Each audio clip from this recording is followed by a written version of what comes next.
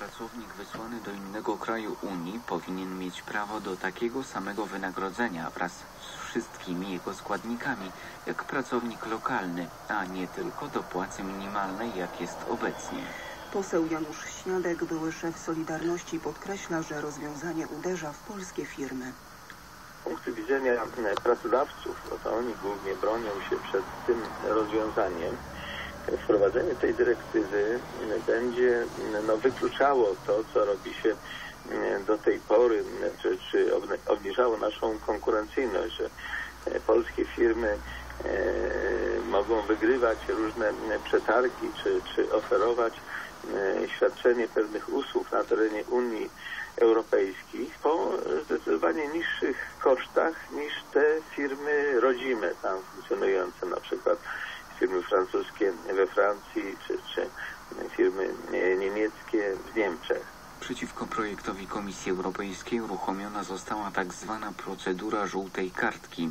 Parlamenty 11 krajów zgłosiły zastrzeżenia do propozycji przepisów, argumentując, że nie są one zgodne z zasadą pomocniczości. Według tej zasady Unia nie powinna regulować spraw, które mogą być lepiej uregulowane na poziomie krajowym. Wskutek uruchomienia procedury żółtej kartki Komisja Europejska musi ponownie przeanalizować swą propozycję, a następnie zdecydować, czy ją podtrzyma, zrewiduje, czy też wycofa. Z Polski pochodzi najwięcej pracowników delegowanych w Unii Europejskiej. W 2014 roku było to prawie 430 tysięcy osób z blisko 2 milionów. W dalszym ciągu nie ma porozumienia między pielęgniarkami a Dyrekcją Centrum Zdrowia Dziecka. Spór w głównej mierze dotyczy kwestii wzrostu wynagrodzeń. Rano przerwano całonocne negocjacje. Władze Centrum Zdrowia Dziecka proponują podwyżkę w wysokości 300 zł dla sióstr, które zarabiają poniżej 4000 zł. Protestujące nie przyjmują propozycji i kontynuują strajk. Pielęgniarki odeszły od łóżek pacjentów we wtorek rano. Oprócz wzrostu wynagrodzeń domagają się także poprawy warunków pracy. Policjanci prowadzą akcję Bezpieczny Weekend Boże Ciało 2016. Na drogach pojawiło się więcej patroli. Funkcjonariusze sprawdzają trzeźwość kierowców, a także czy poruszają się zgodnie z przepisami i dozwoloną prędkością. W ciągu roku od wprowadzenia nowych przepisów do kodeksu drogowego aż 33 tysiące kierowców straciło na 3 miesiące prawo jazdy za przekroczenie prędkości. Młodszy inspektor Józef Klimczewski z Komendy Miejskiej Policji w Poznaniu zwraca uwagę, że na drogach jest bezpieczniej. Wypadki śmiertelne spadły o 50%. jest istotnie znaczna poprawa stanu bezpieczeństwa, która mm, cały czas e, się poprawia. E, ta e, tendencja przekraczania prędkości w obszarze zabudowanym powyżej 50 km na godzinę miała ogromny związek ze skutkami zdarzeń drogowych. To nieubłagalne prawa fizyki, to prędkość, pojazd e, powodują skutki dramatyczne, tragiczne.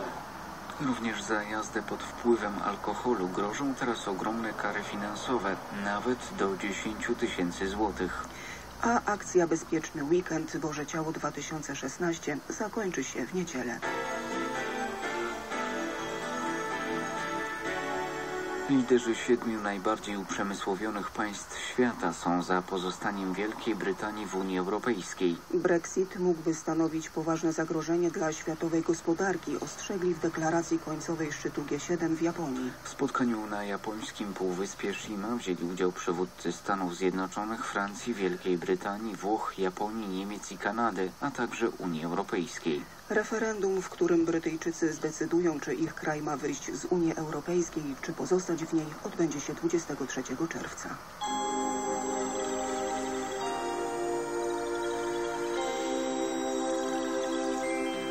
Kraju zachmurzenie umiarkowane, okresami wzrastające do dużego, przelotny deszcz i burze, lokalnie z gradem. Temperatura maksymalna od 20 stopni na północy do 25 stopni na południu, nad samym morzem od 18 do 20 stopni.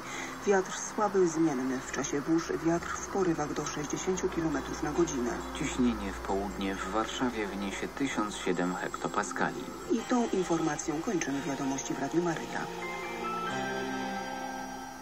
5 minut po godzinie 10. Bardzo serdecznie zapraszamy przed odbiorniki naszych najmłodszych radiosłuchaczy. Dziś dla Was audycja przygotowana przez redakcję Anioła Stróża.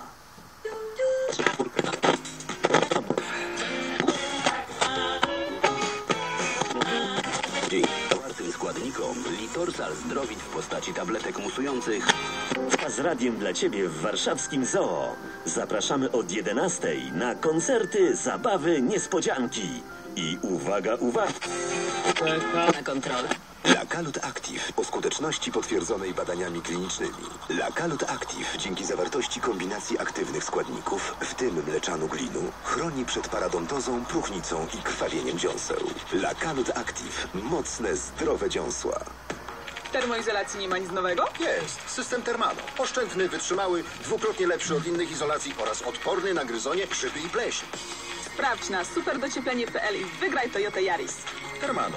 Super docieplenie polskiego domu. Wow, ale niskie ceny! W Media Expert przeceny z okazji Dnia Dziecka. Smartfony, tablety, laptopy i wiele innych prezentów w super niskich cenach.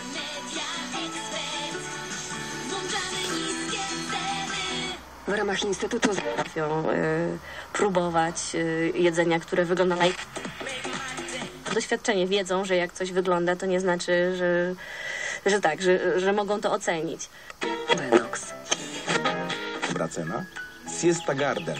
To polskie wyposażenie do ogrodów. Zaufali nam zagraniczni klienci. Teraz czas na Polskę. Produkty z drewna, ratanu i metalu. Przekonaj się sam. Sklep internetowy www.siestagarden.pl Za reklamę dziękujemy. Autopromocja.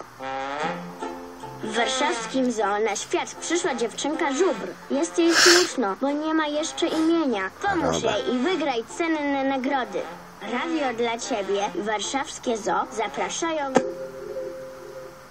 Jeśli masz nie więcej niż 9 lat i kochasz zwierzęta, to ta zabawa jest dla Ciebie. Wymyśl ciekawe imię dla małej żubrzycy. Bardzo ważne, musi się zaczynać na literę H. Narysuj ją lub napisz na jej temat krótki wierszyk. Następnie wyślij swoje pomysły na adres pocztowy radia. Warszawa, ulica Myśliwiecka 3 przez 5 przez 7 lub na adres mailowy zoomałpa.rdc.pl. Na zwycięzcę czekają nagrody roczna adopcja żubra, roczny rodzinny bilet do zoo oraz rower. 4 czerwca w sobotę przyjdź do zoo na Dzień Dziecka z radiem dla Ciebie i sprawdź, kto wygrał konkurs. Może to właśnie Ty. Więcej informacji i regulamin konkursu na rdc.pl. Żubrzyca czeka na imię do 1 czerwca. Zapraszamy! Autopromocja. Krajowa Rada Radiofonii i Telewizji informuje, że w 2016 roku miesięczna opłata za używanie odbiornika radiowego wynosi 7 zł, a dla odbiorników telewizyjnego i radiowego 22 zł 70 groszy. Przy opłacaniu abonamentu za okres dłuższy niż miesiąc przysługują zniżki. Przypominamy, że z opłaty nie zwalnia korzystanie z telewizji kablowej czy platform cyfrowych. Jest ona obowiązkiem ustawowym.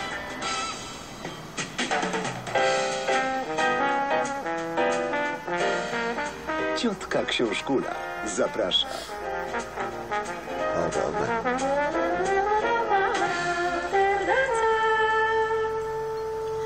Oj, zapraszam, zapraszam, zapraszam do Ogrodu Zoologicznego 4 czerwca, a dziś zapraszam na naszą audycję. Dzień dobry Państwu, jest już e, 9 minut po 10 i wyjątkowo w piątek. Witam Państwa serdecznie, a ze mną są Żaneta Tomala za konsoletą i Edyta Szafran jako wydawca audycji. Ja nazywam się Małgorzata Berwit i będę z Państwem przez najbliższe dwie godziny. I w pierwszej godzinie pokrążymy wokół e, książki dla dzieci i młodzieży. Już za chwilę omówię książkę dla najmłodszych. Będzie to historia Parałuszka i jego przyjaciół. A następnie Patrycja i Nel opowiedzą o rywalkach na szczęście. W sprawie filmu i najważniejszej w nim postaci możecie pisać już do zdobycia... Oglądali o czymś film, a potem wieczorem o tym rozmawiali w przełożeniu na, na naszą rzeczywistość. Em, ja się jakoś tam specjalnie nie boję też, jak zobaczę, że, że im się to nie podoba. Ktoś nam ostatnio powiedział, żebyśmy jeździli z naszymi dziewczynami, e, dopóki one chcą, bo potem już nie będą chciały. A my na siebie wtedy spojrzeliśmy i, i powiedzieliśmy, że kurczę, fajnie spróbować, e, jak to się jeździ bez dzieci. Tego też nie znamy. Ja to, ja to się nie umiem tak na zapas martwić. Mhm. Yy, a czy dziewczynki biorą udział w planowaniu podróży? Absolutnie tak. To jest, to jest co- coś, na co kładziemy nacisk, bo te wyjazdy to są wyjazdy całej czwórki. I wydaje mi się, że to by nie działało tak dobrze, gdybyśmy nie brali pod uwagę potrzeb całej czwórki. Czyli jak mój mąż czasami chce zrobić zdjęcie, nie wiem, zachodu słońca i mu to zajmuje dwie godziny, a my musimy czekać, okej, czekamy, ale jak Mila chce głaskać kota dwie godziny na ulicy, jak idziemy, to też na to czekamy. Yy, I one o tym wiedzą. Są takie rzeczy, które robią dla nas, jak nam zależy na tym, żeby, nie wiem, wejść na jakąś górę, bo coś tam.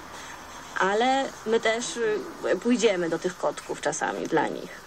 Czyli, ale to już jest trak- w trakcie samego wyjazdu, a przed wyjazdem mówicie dziewczynkom dokąd jedziemy i co szukacie razem, nie wiem, jakichś słów w danych językach? Tak, tak, tak. To, to znaczy, to też nie jest trudno y, sprzedać kierunek y, wyjazdu. Y, Na przykład podajemy trzy, które nam się wymarzyły i oczywiście możemy opowiedzieć, jakie zwierzęta, jakie tam desery się je, jak dzieci mają na imię. To przy, te przygotowania są bardzo ważne i wydaje mi się, że od najmniejszych, od, od, od wyjazdów z najmniejszymi dziećmi fajnie jest to robić i mówić im, jak to będzie w tym samolocie i czego się spodziewać. No bo każdy chce wiedzieć, czego się spodziewać, jak gdzieś jedzie, a dzieci tym bardziej, żeby, żeby, żeby ich to nie przestraszyło. Też domyślam się, że dziewczynki muszą być szalenie inspirujące w takich y, podróżach, bo są dziećmi po prostu. Dzieci są ciekawe świata i zadają, milion pytań. pytań. Zadają pytania, a że dziewczyny nasze mówią też po angielsku. My- Ja z moim mężem rozmawiam po angielsku, one mówią dobrze po polsku i po niemiecku, ale mówią też po angielsku. I czasem, jak wtrącą jakieś pytanie, to, no to z jednej strony oczywiście e, czasami jest niezręcznie, a z drugiej strony e, jako parze dziennikarz, fotograf, e, takie dzieciaki bardzo ułatwiają życie, bo one potrafią zapytać o coś bardzo wprost. Albo na przykład ja rozmawiam z nimi po polsku o czymś, a one zadadzą to pytanie, które nam jest niezręcznie zadać po angielsku. No już nie mówię o tym, że, że wchodzą w jakieś miejsca, w które, w które byłoby trudniej wejść, albo one są zapraszane. Teraz ostatnio też w Iranie szliśmy ulicą, była taka Samo zamknięta to? szkoła podstawowa, oczywiście no, wielkie Ale mury. gdzie na YouTube? A Hania tam wbiegła. Dziewczynki wszystkie ją zobaczyły, pociągnęły za ręce do środka. No i w, w życiu byśmy do tej szkoły tak z buta nie weszli, No dobrze, gdyby, no gdyby nie ta ciekawość naszego dziecka. A też rozmawiają No dobrze, dziewczynki z y, No musi rówieśnikami swoimi? Szukają wspólnego języka, bawią się razem? Tak, to, to zależy od kraju, bo no, w, w krajach, w których mówi się po angielsku, w, w Szkocji czy w Nowej Aha, Zelandii, czy, czy na. Pacyfiku, gdzie są, gdzie, gdzie są wszystkie e, były kolonie brytyjskie, e, No dogadują się po angielsku. Ale Ale w, Ameryce Środkowej, o, o której jest książka, po czterech miesiącach Hania No nie, ale odpowiadała na można się podstawowe rozejrzeć. No dobra. No to będziesz Czyli dzieci dzwonił, tak? łapią bardzo szybko języki. No to zresztą też żadna tajemnica, żadna nowość. Dobrze, zaraz zobaczę, Jestem bardzo ciekawa wejdzie. tego, jak No. dużo w nich zostanie właśnie z No tej waszej razie, podróży już teraz. 50, no na razie. I jakie będą miały punkt odniesienia, kiedy już będą starsze, będą na przykład tak jak, o, teraz w twoim wieku i będą podróżowały sobie samodzielnie, bo też nie wyobrażam sobie, żeby nie podróżowały później. Może będzie tak, że jedna będzie podróżować, a druga powie, kurczę, wreszcie mogę posiedzieć w domu, nic nie robić. Kto wie? No ja też nie wiem, ile w nich jest z tego podróżowania rzeczywiście, bo nie miałam nigdy dzieci, które nie podróżowały. No tak, to tylko teraz ocenić tak naprawdę jeszcze. No zobaczymy, zobaczymy. Mam nadzieję, że, że nie będą nam mieć za złe, że zabraliśmy im wakacje. Myślę, że zorganizowaliście im niezłe wakacje, przygotowując się właśnie do takich y, wyjazdów. To jeszcze jedna rzecz na sam dosłownie koniec. y, Czy są jakieś takie punkty stałe? Na przykład, nie wiem, każda ma swoją jedną zabawkę, która jedzie zawsze z nimi? To jest bardzo ważne. Y, Piesek tutaj obecny jest zawsze z nami, zabawka Hani jest zawsze z nami. Y, Często jeździmy z plecakami tylko, więc musimy trochę ograniczać bagaże, ale mamy tam, tam dwie książki takie, które da się czytać 100 razy i zadawać pytania. Y, Mamy kredki, ale dziewczyny też wiedzą, że zabawkę można zrobić ze wszystkiego i one, one potrafią w samolocie, na lotnisku czy, czy w dżungli sobie nagle zrobić y, domek dla lalek i lalki z patyków. Potrafią sobie zajmować czas. Czyli wyobraźnia dziecka nie zna granic, ale wasza wyobraźnia też nie zna granic, granic tak naprawdę. Dziękuję, to chyba komplement. E, Ania e, Albot razem ze swoją córką Milą w naszym studio. Bardzo wam dziękuję za wizytę. Bardzo dziękuję. Mila, dziękuję tobie przede wszystkim za cierpliwość. Pewnie państwo e, słyszeli, jak się Mila bawi. Naprawdę przeurocza dziewczyna, która zwiedziła już pół świata. Także serdecznie polecamy tym z Państwa, którzy chcą się odważyć, e, żeby ruszyć w podróż z dziećmi. Jak pokazuje Ania i jej mąż e, Tomasz, to nie jest problem. Jak tylko człowiek się odważy, to można to po prostu zrobić. I też można z tego dużo fajnych rzeczy mieć i dużo się dowiedzieć, bo my nie jeździmy tylko po to, żeby być razem, ale też, żeby poznać świat. Bardzo dziękuję za spotkanie. E, Kończymy teraz rozmowę o podróżowaniu, ale tak naprawdę przy podróżach jeszcze zostajemy, bo za chwilę po informacjach porozmawiamy o Armenii. Przedpołudnie Radia TOK FM.